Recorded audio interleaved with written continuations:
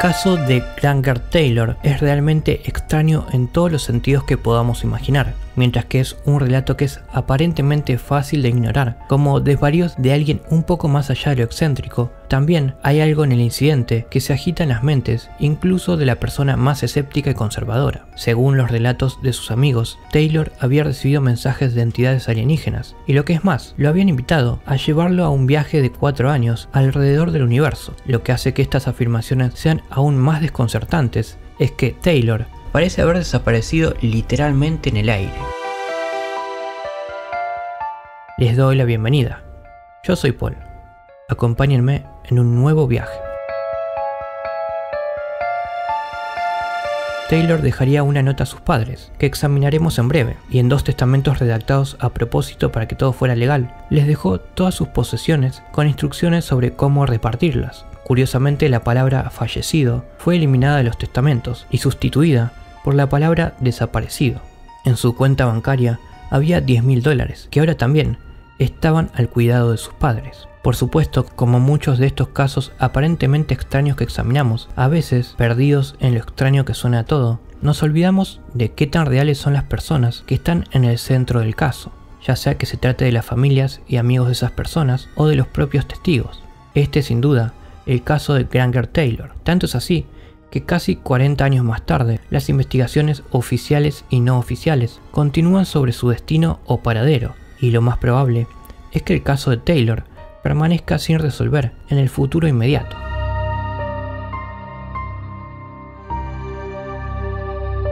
En la noche del 29 de noviembre, Granger Taylor de 32 años de edad, dejaba la casa de sus padres y salía en su camioneta Datsun azul, conduciendo hacia una tormenta particularmente fuerte. De hecho, la tormenta fue tan intensa que causó cortes de energía en grandes porciones de la isla de Vancouver, en la Columbia Británica, en Canadá. Si tenemos en cuenta que no se volvió a ver ni escuchar a Taylor, así como el contenido de la nota que dejaría a sus padres, que es la que estamos viendo ahora mismo, tal vez deberíamos preguntarnos aunque solo sea especulativamente, si la tormenta y los subsiguientes cortes de energía podrían tener más detrás de ellos que solo la acción de la madre naturaleza. Vamos a leer la carta que dejó. Queridos madre y padre, me he ido a pasear a bordo de una nave alienígena, sueños recurrentes. Me aseguraron un viaje interestelar de 42 meses para explorar el vasto universo y luego regresar. Les dejo todas mis posesiones, ya que no necesitaré ninguna. Por favor, usen las instrucciones de mi testamento como una guía para ayudarse. Los ama Granger. El contenido de la nota levantó una ceja o dos entre la población y los investigadores que examinarían el caso, al igual que el mapa que lleva las montañas a unos 30 kilómetros de distancia. ¿Fue esta su ubicación del aparente encuentro de Taylor con su supuesto contacto extraterrestre? Hemos examinado en varios videos los encuentros de ovnis y extraterrestres que han tenido lugar en o alrededor de algunas de las montañas más famosas del mundo. Tal vez de mayor interés, ciertamente para aquellos que suscriben la teoría del astronauta antiguo, es que muchas leyendas históricas y relatos bíblicos podrían ser percibidos como encuentros ovnis que también tienen lugar cerca de las montañas.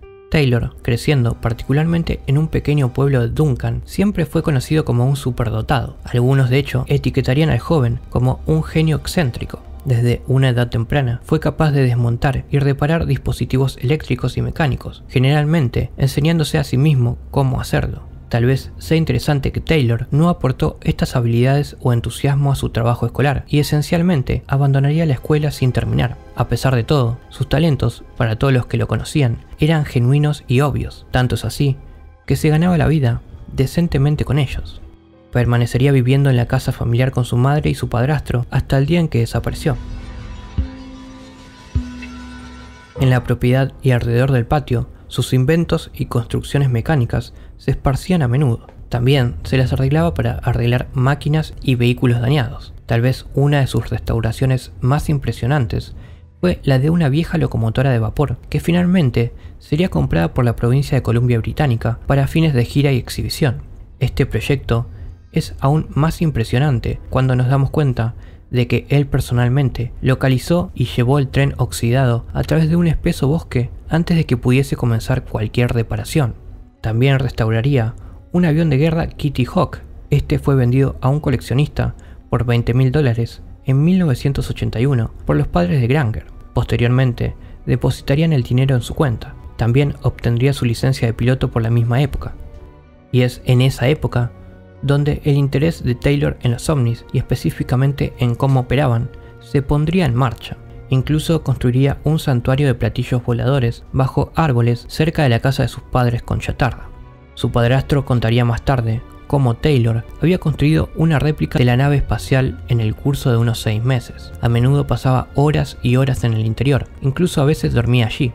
Dentro había un televisor, una estufa y un sofá, fue durante esta época, en los últimos años de la década de 1970, cuando Taylor pasó la mayor parte de su tiempo tratando de entender cómo funcionaban estos artefactos de otros mundos. Pasaba horas leyendo tantos libros sobre el tema como podía, y fue cuando haría los primeros pasos hacia su decisión final de salir a la carretera en medio de una fuerte tormenta esa noche, a finales de noviembre de 1980. Informaría a uno de sus amigos, Nielsen, solo un mes antes de desaparecer, que había recibido un mensaje del espacio telepático. A la luz de su repentina desaparición, Nielsen declararía a los reporteros que Taylor había afirmado haber recibido las comunicaciones mentales y comenzó a hacer preguntas sobre los sistemas de propulsión de los ovnis. Nielsen afirmaría que su respuesta fue simplemente que era magnética. Varios días después de esta primera revelación, Taylor se acercaría de nuevo a Nielsen, esta vez le contaría la invitación que había recibido para hacer un viaje a través del sistema solar. Tanto si Nielsen creía las afirmaciones de su amigo como si no, Taylor ciertamente sí lo hacía. Mucha gente que lo conoció en sus últimos días en Duncan afirmó que hablaría de su próximo viaje, y de hecho lo único que no sabía era cuándo se iría y dónde tenía que ir para que lo recojan.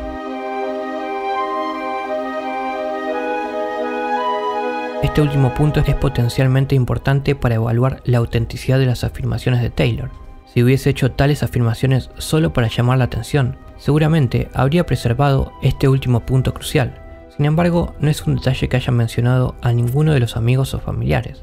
Si aceptamos sus afirmaciones por un momento, parece que estas instrucciones fueron a propósito en el último minuto, o se le instruyó que se guardara los detalles para sí mismo. Solo tenía una pista de que conocía los detalles de su próxima partida, una semana antes de su desaparición, insistiría en llevar a varios de sus amigos a tomar una copa. En retrospectiva, esto parece ser una especie de fiesta de despedida. Por supuesto, podría ser que Taylor estuviese diciendo la verdad, aunque solo sea en su propia mente. Lo que sí sabemos es que alrededor de las 6 pm de la tarde del 29 de noviembre de 1980, la tormenta pronosticada y esperada claramente se avecinaba alrededor del pequeño pueblo de Duncan. Taylor se dirigió a Pop's Grill, un restaurante donde comía regularmente, como lo hizo esa misma noche. Permaneció allí durante media hora y se fue a las 6.30. La camarera de turno esa noche, Linda Baron, probablemente fue la última persona que vio a Taylor. Ella recordó que claramente no estaba vestido apropiadamente para la tormenta que se avecinaba, la cual estaba empezando a desatar el daño que traería cuando se fuera del restaurante. La búsqueda del solitario pero popular Taylor comenzaría casi inmediatamente al día siguiente. Sin embargo, no había absolutamente ninguna señal de él. Tampoco había ninguna señal de su camioneta azul. Este último detalle frustró particularmente a los investigadores de la Real Policía Montada de Canadá. Pensaron que, suponiendo que todo lo que Taylor había dicho era cierto, habría dejado su camioneta en algún lugar a la vista. A pesar de que la familia Taylor ponía regularmente anuncios que ofrecían recompensas en efectivo por información sobre el vehículo, no hubo llamadas. En 1986, al menos según algunas fuentes, se encontraron fragmentos de la misma marca de camión en el monte Seeker, cerca de Duncan. El análisis de ello indicaba que parecía que habían estado en una explosión masiva. Además, parece que los fragmentos fueron descubiertos en un cráter en la montaña. Por más intrigante que parezca este detalle, la investigación de la policía pareció descartarlo. Además, no había señales de un cuerpo o los restos de un sitio en cuestión. Esencialmente, Granger Taylor, vivo o muerto con su camión, siguen desaparecidos.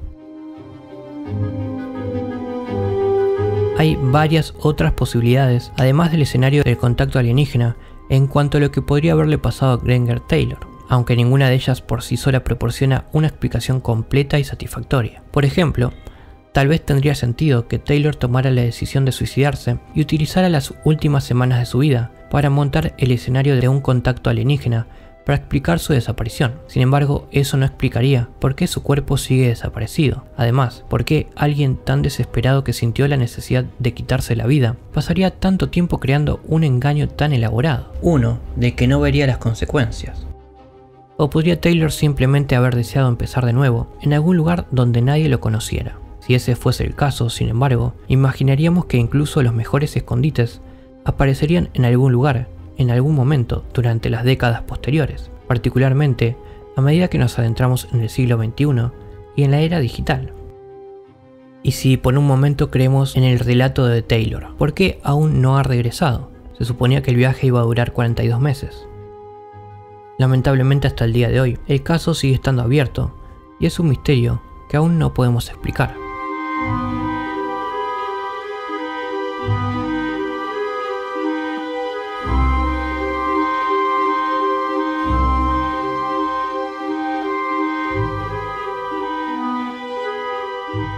¿Y vos qué pensás? No te vayas sin dejarme tu opinión. Y si te gustó, apoyalo con un like y suscribiéndote. Pero si aún quieres dar un paso más, puedes ser miembro del equipo de viaje a lo desconocido, haciendo clic en unirse. Aquí les dejaré un video donde les explico todo el material exclusivo que publicaremos allí. Es todo por hoy. Hasta la próxima historia.